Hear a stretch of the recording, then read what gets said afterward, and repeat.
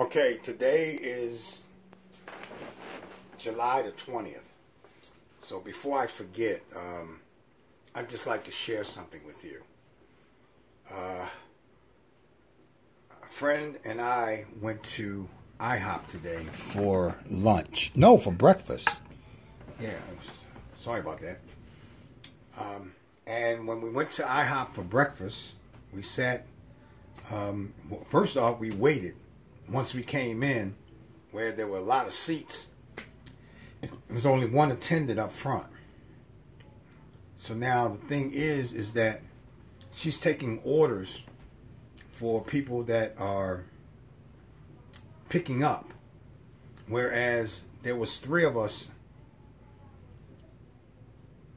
four of us, come to think of it.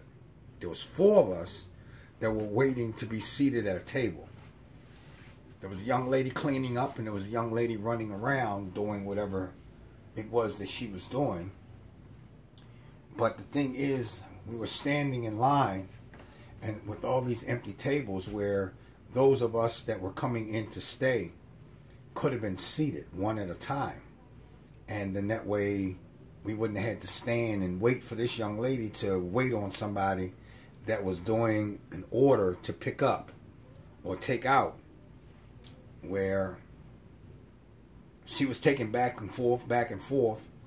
Then the young lady turned around and finished the order. Then the lady wanted to order something additional and wanted to put it on that order. And in order to do that, the young lady that made the order would have to cancel the order and do the order all over instead of just doing a second order and then having her pay for it however she paid for it. But instead, they're bickering back and forth what they can and cannot do while we're still standing there waiting 10, 15 minutes extra. So I stepped up and said something to the point where, you know, don't you think that you could have someone seat us where we wouldn't be standing here listening to y'all business and being in y'all way? And then that way we could turn around and order from the people that are doing the tables and taking the orders so we can get our order. Well, I give her about two minutes to think about it, and then she did it. Finally had a seat. They put us in one spot, then they put us in another spot. Me and the friend that I was with. Okay. So now that they did all of that, then what happens is once they did that, we figured they'd take our order. And like I say, we already knew that there were three other people in front of us that would get their orders and before we would because then they would get to us i guess.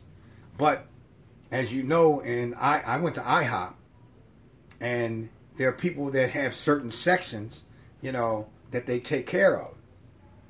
So the young lady that took us to where we were brought us stuff in brought the menu and we chatted and said you know we'll order in a few minutes and we did order once we ordered, even though there were three other people, we could have ordered maybe before them or they took it in rotation because we didn't know how many cooks they had in the back. So we knew we would wait for a minute or two. But we waited in there for about 15 to 20 minutes before anything really developed. And then waited another 10 minutes before I opened my mouth and asked her what the problem is that I noticed that everybody else is, you know, you've taken these orders and you're just getting to us to order about 25 minutes later. So then she took the order, you know, and now we waited waited for the order once she took the order. Waited another 20 minutes. Now, I must say one thing. The food was good. Um, I got an omelet three pancakes and a cup of coffee. Didn't, you know.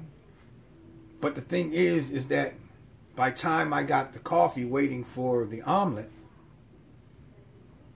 you know, everything was good, but it took them another 20 minutes to get back to us, to even have me say something about we haven't received our food.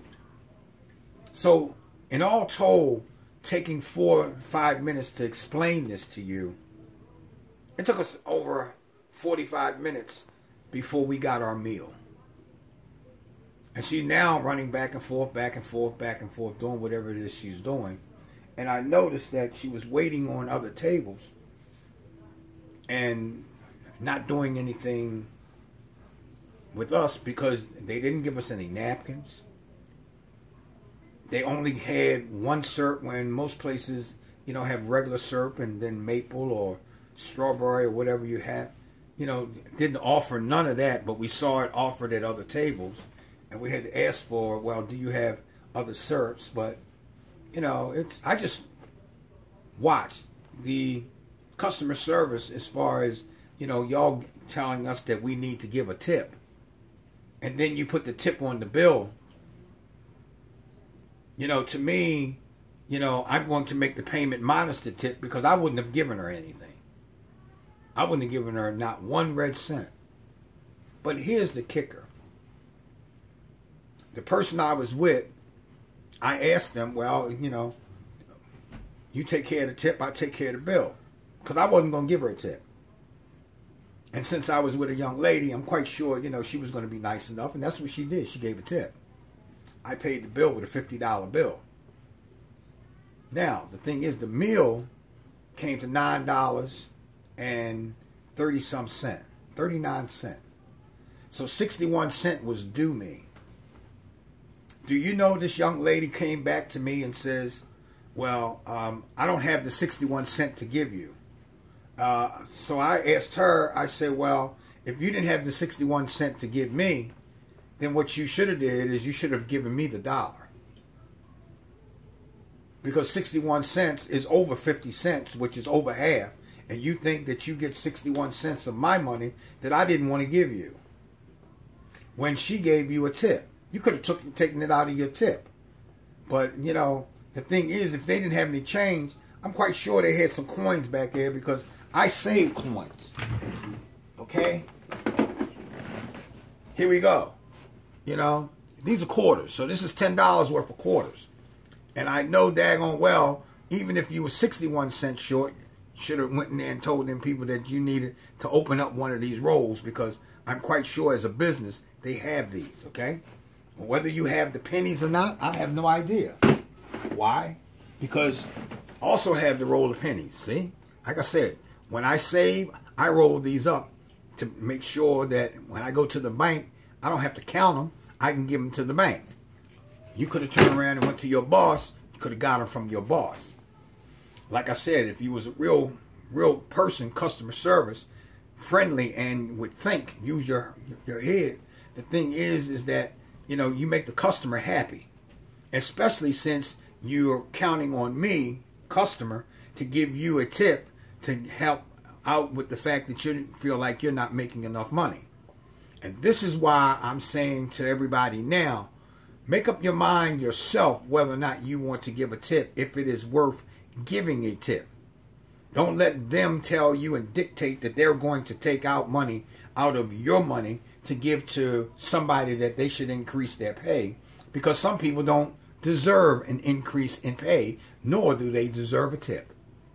Okay? So IHOP, this is my thing to you is that I don't care how hungry I get. I will never come to that location ever again, even though I don't go to, you know, carryouts or either places to eat other than dinner, but I went there for breakfast because I go to International House of Pancakes and a couple other places, even though that is the International House of Pancakes. But I don't go to your IHOP on Route 40. Okay? Um, not no more. I'll find somewhere else to go if I decide to go to breakfast. I'm a cook. I have a garden, you know. So my thing is, I really, I just had a taste for omelet, and y'all did a good job. Your, your, your chef was nice, but your customer service, that little young lady that I was sitting in that table right near the window on the far right hand side, I wouldn't have her order me anything ever, ever again and she wouldn't have gotten not one red cent out of me. But I was nice enough to let her know that what she did with the 61 cent, you can have it. Instead of saying that I wanted the dollar and then you could take your 39 cent, you know, from somewhere else or out of your tip because I want my money. But it wasn't nothing but 61 cent, but it was the principle of how she did it. Very, very, very unprofessional.